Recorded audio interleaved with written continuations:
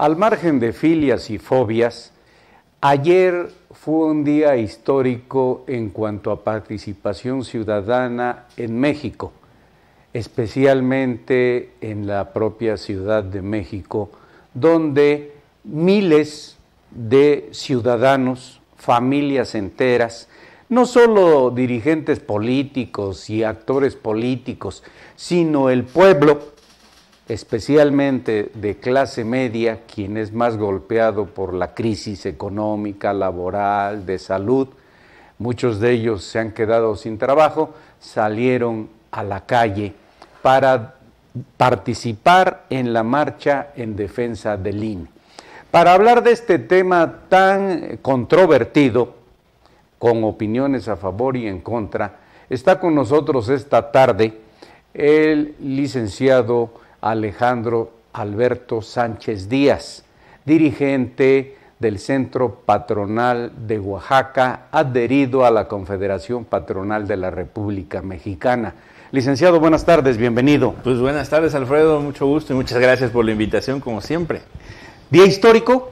Día histórico. Para la ciudadanía en general. Sin duda, día histórico para la ciudadanía en general, eh, un día muy importante para los que defendemos la democracia en el país y el mensaje eh, creo que está muy claro de la ciudadanía con respecto a la importancia, respeto y eh, autonomía, autonomía que buscan de nuestro Instituto Nacional Electoral, eh, que como bien sabemos lleva más de 30 años evolucionando y en un proceso de mejora continua. ¿no? Eso es importante. Tenemos que ser objetivos, realistas y todas las obras, todas las instituciones humanas son perfectibles. Es correcto. Y esta es una llamada de atención para pueblo y gobierno en tanto cuanto de buscar mejorar las instituciones, sin caer en los excesos de utilizar a las Fuerzas Armadas, por ejemplo, en labores de albañilería, ¿no?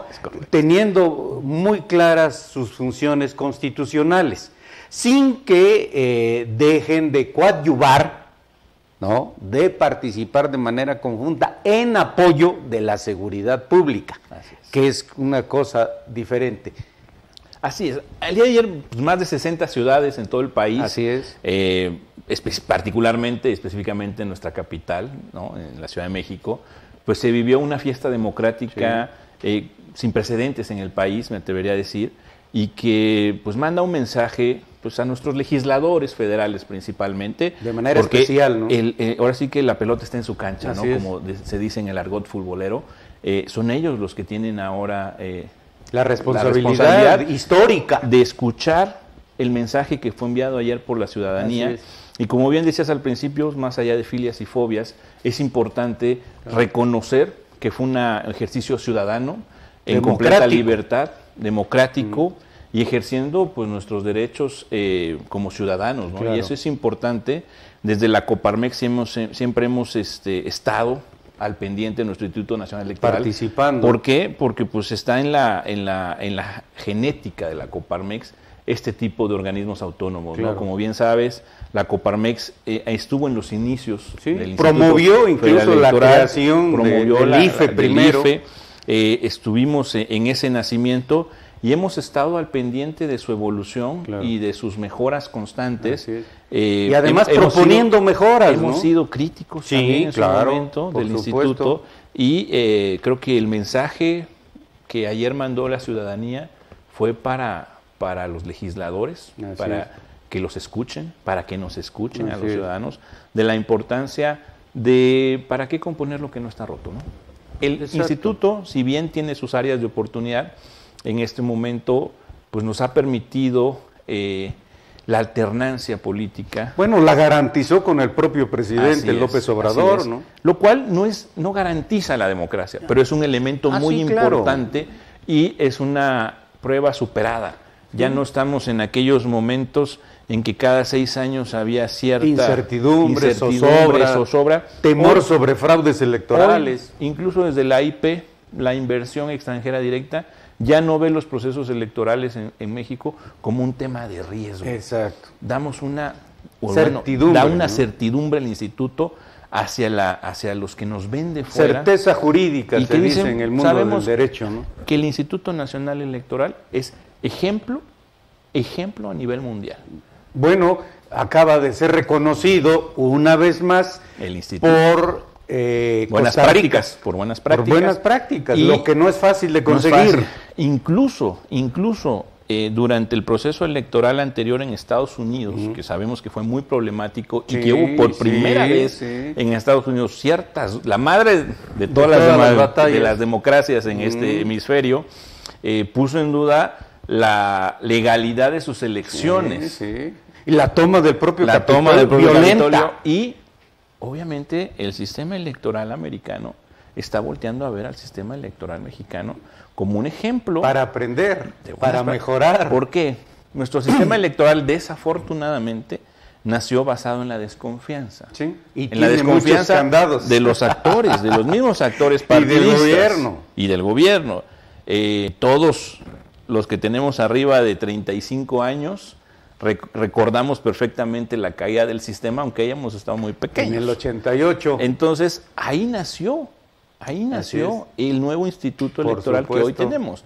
Y desafortunadamente los americanos no habían visto, no habían caído en la cuenta de que también son vulnerables y su sistema electoral trae bastantes fallas de origen y de riesgos, claro. que hoy ya valoran y dicen, ah, mira, pues a quién le aprendemos? Pues a nuestros vecinos de al lado. Y no está mal. Por supuesto. Y como ellos, muchos otros sistemas electorales se han nutrido de las buenas prácticas de nuestro Instituto Nacional Electoral. Que ojo, repito, no es perfecto. No, no, es perfectible, claro. Es, un ejemplo hasta el día de hoy a nivel mundial. Nos ha garantizado al menos tres alternancias a nivel federal. Y Por supuesto. Ha sido muy importante. Y seguramente habrá una cuarta. Y seguramente, seguramente. Y así, ad infinitum. Eh, licenciado, eh, comentaba algo que es muy importante, el claro mensaje directo y concreto, ¿no? Eh, conciso, macizo, a los legisladores. Así es, a los legisladores. De ambas cámaras. De ambas cámaras aunque nuestros presidentes eh, dicen que lo invitan a un bautizo y va de ropón, ¿no? Porque se siente a veces aludido. Sí, el protagonista. El, mensaje no fue el presidente de la República. Él se trata de chocar con el presidente. De ninguna manera. Se le respeta. Se le respeta y además está dentro de sus facultades constitucionales mandar iniciativas. Hasta ahí está muy bien. Así es. responsabilidad de nuestros legisladores de ambas cámaras analizar si esas eh, propuestas eh, son al lugar o no y creo que el mensaje de ayer de la ciudadanía fue no, al lugar. Así es. Entonces esperemos que el mensaje haya sido bien recibido por ellos, por nuestros legisladores federales, y ojalá eh, se pongan a la altura de la historia. ¿no? Claro. De manera especial, reviste singular importancia eh, la decisión en la votación del grupo parlamentario del PRI por el antecedente en la llamada militarización, en la aprobación de eh, prolongar la participación de las Fuerzas Armadas hasta el 2028 en materia de seguridad pública y en asumir el control de la Guardia Nacional que estaba concebida como un organismo civil. Así es. A grado tal que ayer hubo reclamos directos y personales a Alito, o AMLITO, como también se le ha bautizado. ¿Qué opinión le merece esta eh, situación? Sin lugar a dudas es el antecedente próximo que tenemos anterior con respecto a, reformas eh, constitucionales. Y sí, desde Coparmex estamos atentos a los legisladores de oposición, ¿no? que sabemos que, que pudieran eh, cambiar en un momento su, su discurso y su propuesta con respecto a ciertos temas, pero confiamos en que en este en específico eh, saben la peligrosidad del para ellos mismos. Para ellos mismos o sea para los actores pues políticos porque eh, perderían mucho de la certeza que hoy les da el y posiciones. Totalmente. Por eh, supuesto. el tema histórico los plurinominales no por ejemplo que ha sido y surgió en un sistema altamente dominado por un partido y que permitió casi hegemónico, casi hegemónico y que permitió a las minorías, a las incorporarse y poco a poco ir ganando espacios. Claro. Bueno, hoy estamos en gracias a esa lucha hoy eh, Morena Así es. y el gobierno de la 4T está en el poder. ¿no? Así es, pero hay un cambio muy significativo eh, de esos años al, al actual y, y creo que es en el que hay que hacer énfasis. ¿no? Mm. Definitivamente hoy vivimos un México cada vez más ciudadano y es donde Sí, claro. nosotros, eh, organismos empresariales, asociaciones civiles, eh, todos los órganos, que- sectores, productivos en general. eh, valorar, ¿no? Valorar Sí. esta participación ciudadana, reconocerla, reconocer a esos valientes que ayer salieron y que posiblemente si hubiéramos intentado hacer esta marcha hace 40 años, Mm, no Hubiera hubiera sido- tenido la misma respuesta. no hubiera tenido la misma respuesta, punto número uno, y hubiera habido mayor miedo, ¿no?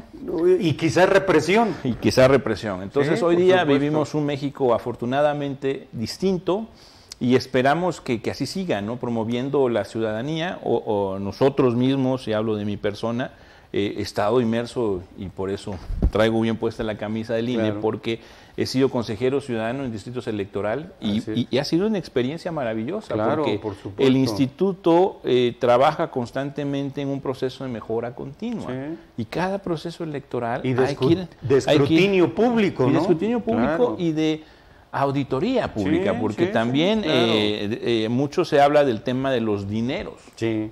Y sí, es un tema que, que a veces nos dicen es que sale muy cara la democracia en México. Sale más cara como la teníamos anteriormente. Pues sí. Y- La dictadura. Entonces, aquí el tema de auditorías y el tema de los dineros al interior del instituto, y me consta, Es transparente. es transparente y además constante, es una constante que vive en los distritos Sí, electorales. Son los mecanismos de Son los control mecanismos y de seguimiento, control y ¿no? seguimiento. Obligados. y que eh, son muy similares, y, y lo digo así con todo respeto y con toda, eh, con toda justicia, muy similares a lo, a lo- a lo que hacemos en la IP, ¿no? O sea, Claro. muy, muy, muy, eh, regulados, estrictos, muy estrictos, muy estrictos. y haciendo rendir el dinero Al máximo. Al máximo. Haciendo economías, ¿no? Entonces, que es una forma este, de obtener recursos. ¿no? Mucho se habla de que es un árbitro muy caro, Mm. muy que los consejeros, bueno, realmente ¿Qué este, precio tiene la libertad? Ese Digo, es el precio de nuestra sí. democracia y, y vuelvo al punto original. Hay que entender que surgió en un sistema basado en la desconfianza. Totalmente. Y si tú desconfías del entorno, tienes que poner cada vez más candados. Así es. Y cada uno de esos candados cuesta. Ah, no, por supuesto. Hoy se habla, por ejemplo, del tema del sistema brasileño y las urnas electrónicas. Los brasileños ahí nos llevan veintitantos años de ventaja. Sí, claro. Yo no dudo que algún día, no dudo que algún día nuestros hijos, ese estadio. a tus nietos, Claro. nos alcance eh, para hacerlo. ¿no? Yo no imagino a mi hijo haciendo dentro de 20 años una fila eh, Para poder votar. hacerlo. Seguramente habrá esquemas de seguridad eh, digital mucho más avanzados Sí, que nos claro. permitan hacerlo de manera cuasi natural. Así es. Hacia allá vamos. Claro. Pero, mientras tanto, mientras eso sucede, pues nuestro sistema actual ha garantizado estos, estas... Esa eh, certeza jurídica. Esa certeza jurídica que es lo que importa, ¿no? Al fin y al cabo, ganen moros o cristianos, al ciudadano común lo que le interesa es que haya certeza sobre quién Y gana que haya paz social. y que haya paz social. Porque al otro día de las elecciones, la gran mayoría de nosotros, al igual que antes de los procesos electorales, tenemos que salir a trabajar y a ganarnos A pan. ganarnos la chuleta. Y pues seguramente hay una estadística bien interesante.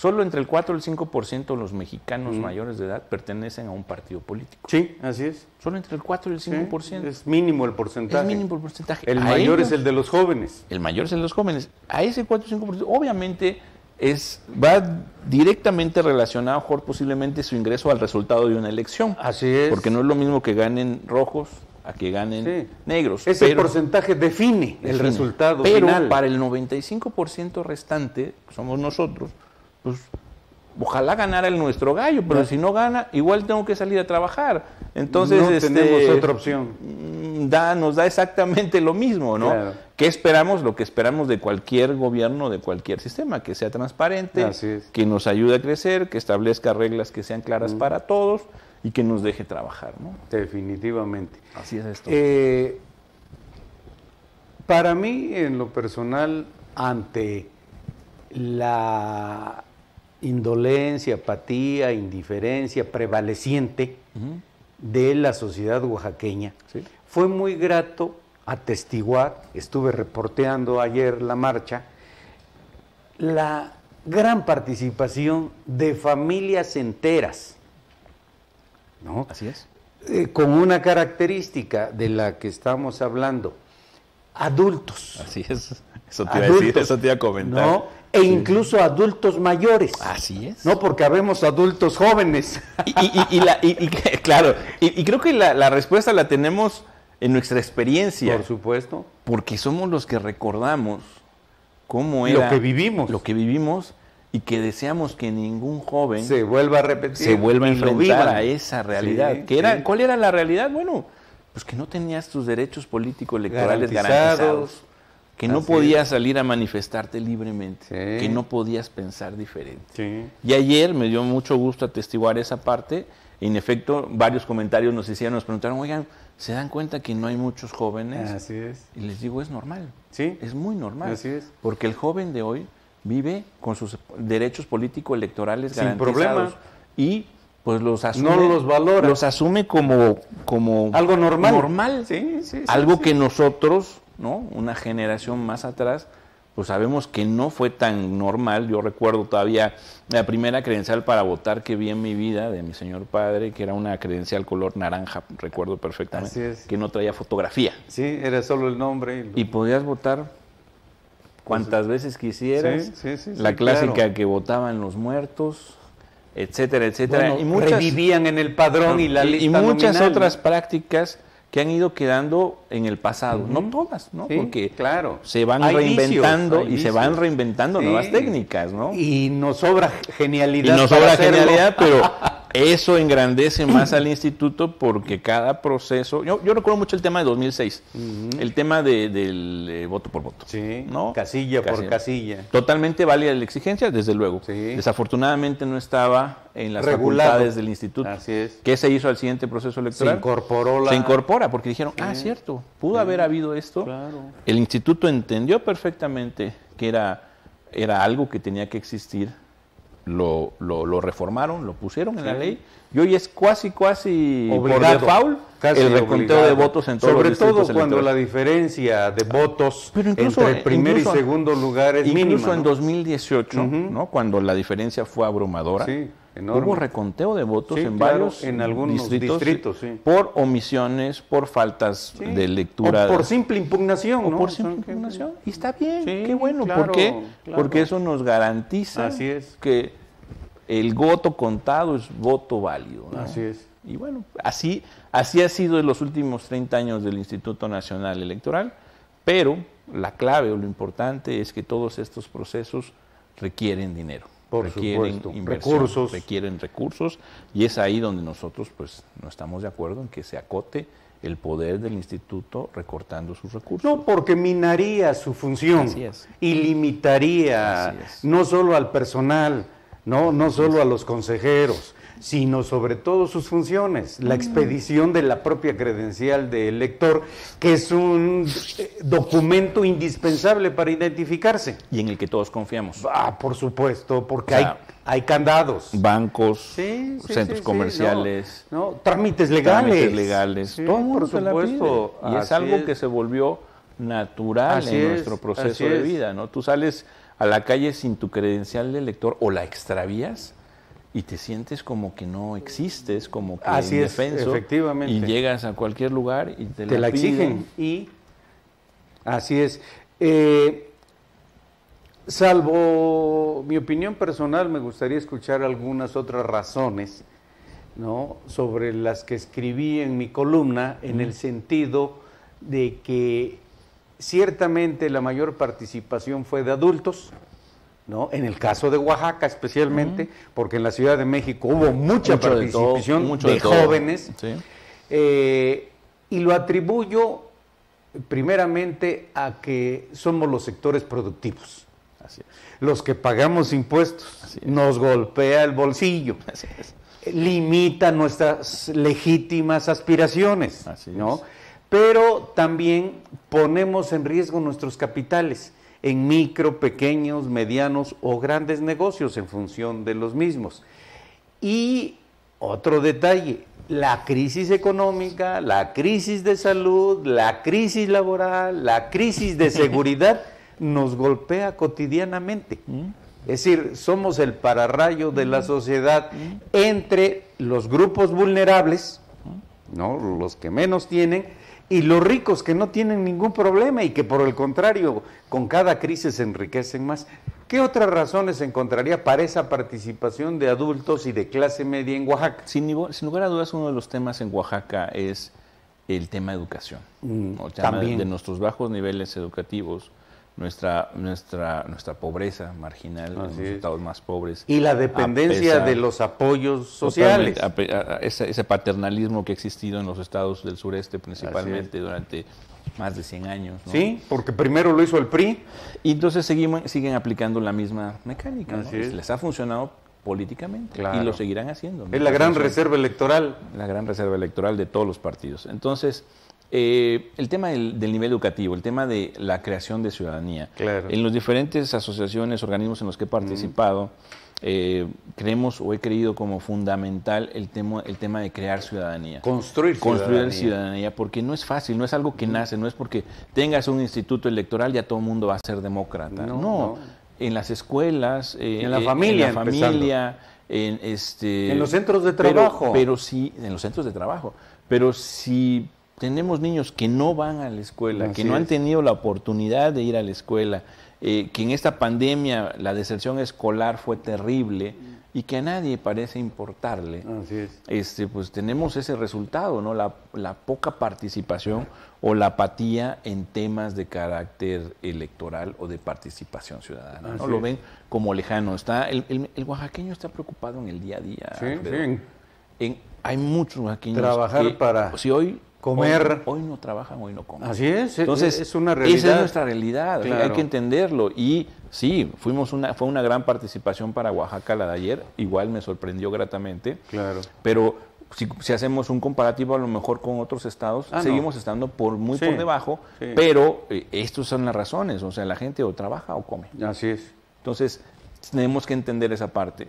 En tema educativo, pues no tenemos esa formación. No hay información, no, hay, conciencia. Tema de conectividad, por ejemplo, en el instituto, el tema de hacer elecciones en Oaxaca eh, resulta todavía más desafiante porque hay que llegar hasta las comunidades físicamente, físicamente para los mismos el traslado de las propias para este, los mismos capacitadores electorales es una es un reto o sea es un gran reto este enfrentarse a nuestra orografía a nuestros sistemas de 13 mil localidades a nuestra logística de transporte. es complicado. Eso todavía lo hace más difícil y, y todavía eh, exigirle a la gente a la ciudadanía que se involucren en estos, en estos temas, pues todavía es, más retador. Sin duda nos falta mucho como, como entidad por, por crecer, pero lo de ayer fue muy importante, fue un mensaje muy importante y repito, ojalá nuestros legisladores locales, federales, eh, lo entiendan y lo vean. Habrá que ver. Hay mensajes adicionales que me llamaron la atención y que retomé en la publicación de mi columna detrás de la noticia para 40 portales en el país, en el sentido de eh, el anuncio del Frente Cívico Nacional en Nuevo León, mm. eh, que de no escuchar el gobierno, en este caso el Poder Legislativo a través de las dos cámaras de diputados y senadores, bueno, pues eh, accionarían con la resistencia civil, pacífica. Fueron enfáticos en hablar de acciones pacíficas, incluyendo la toma de los congresos de los estados y del propio Congreso Federal.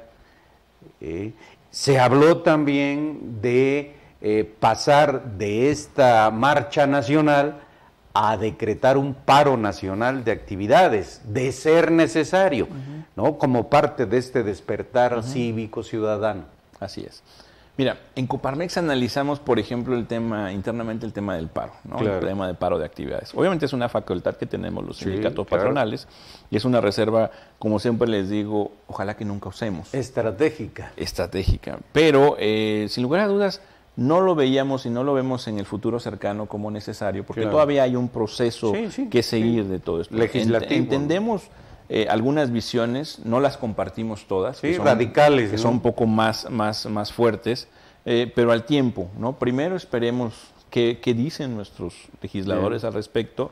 Eh, repito, creemos que este mensaje de ayer fue escuchado por todos y todos los legisladores de principalmente del bando opositor y que esperemos eh, no caigan en estas tentaciones. Incluso ya hay algunos, algunos eh, senadores, diputados del partido oficial que han emitido sus comentarios al respecto. Ricardo, Monreal, por ejemplo. Y otro por ahí, otro video por ahí me llegó de otro, de otro diputado federal que eh, pues más tolerantes, ¿no? Más, tolerantes y escuchando con mayor apertura.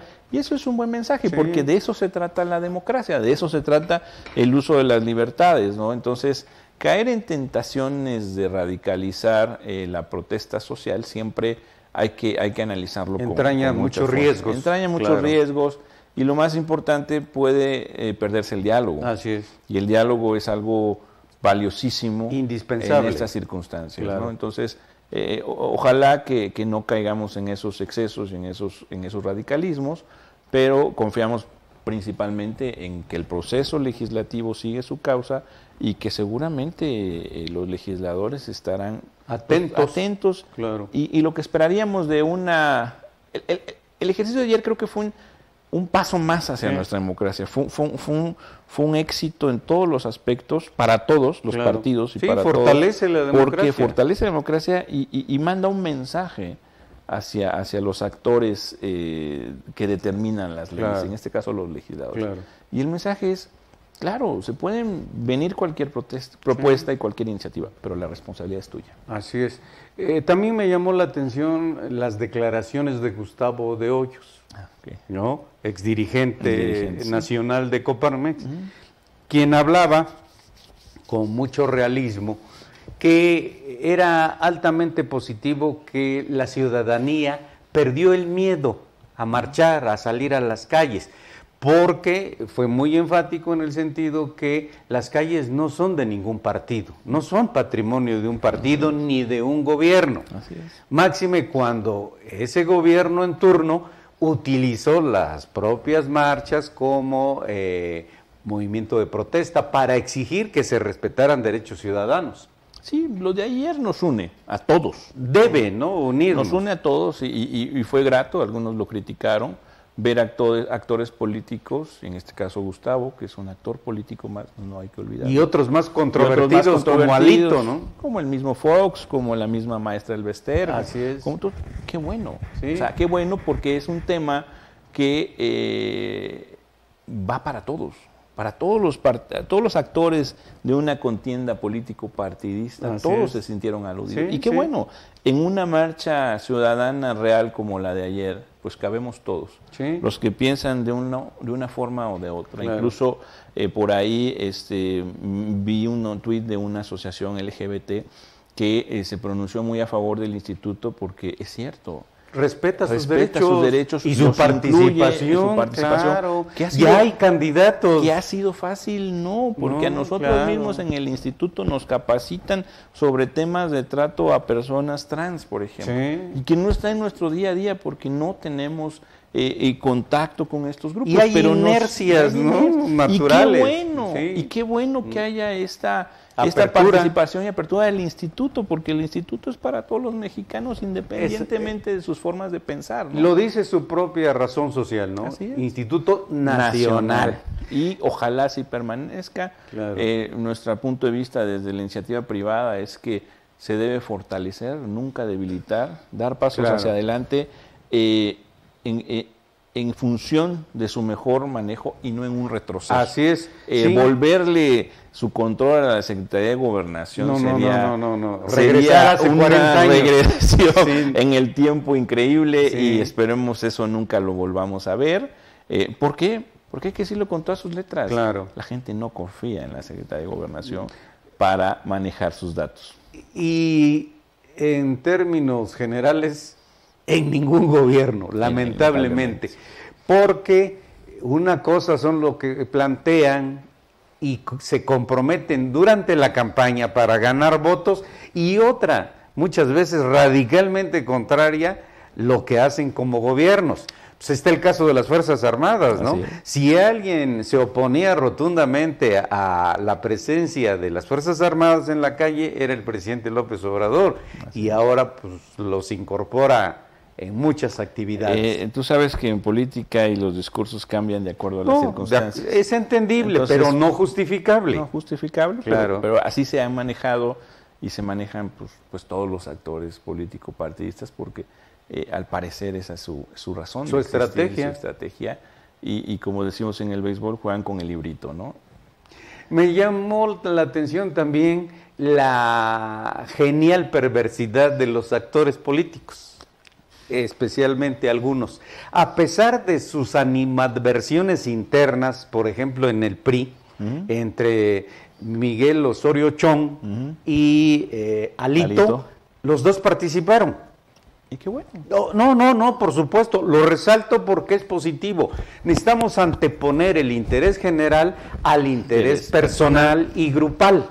Y hasta faccioso, ¿no? Y no habrá, y no hay que sorprendernos, si no habrá actor político que quiera sacar agua para su molino en estos temas. Ah, no, a eso voy, me te adelantas. perfectamente, es parte de su, de su de su genética, es parte de, su, de su lucha, su estrategia, de su lucha, por supuesto. y el manejo de medios, y sí, sí, sí, Pero, ¿qué nos toca a nosotros los ciudadanos? Entender, ver, respetar y actuar. Sí. ¿no? Y actuemos en consecuencia y, y veamos que pues, a quién confiamos nuestro voto. ¿no? Y cada tres o seis años estaremos en una urna libremente y en esos segundos que tenemos frente a la boleta, ahí estará nuestro ejercicio de nuestra libertad. Y eso no lo debemos perder bajo ninguna circunstancia ni entregárselo a partido político a nadie. alguno. Eh, como parte de esa genial perversidad, eh, también me llamó la atención como observador y analista político el llevar agua a su molino de algunos actores, a la vista de todos, porque pues en una marcha pública pues no se podían esconder. Y además lo que querían era precisamente llamar la atención. Eh, como lo he sostenido siempre, hay una constante histórica. No hay movimiento social o político en México en el que no participen oaxaqueños, controvertidos, ¿no? Este, eh, polémicos, ¿sabes? De tempestades, como quiera llamarse. Bueno, marchó el exgobernador Ulises Ruiz ah, Ortiz, ¿no? Que busca la candidatura presidencial independiente. Y tengo entendido que también la presidencia de su partido, ¿no? Ah, no, por, bueno, ya no porque está expulsado. Ah, ok. ¿No? Entonces, eso. Pero eh, también en Oaxaca hubo eh, repercusión partidista. Mm. Eh, no solo participaron panistas, sino los propios priistas.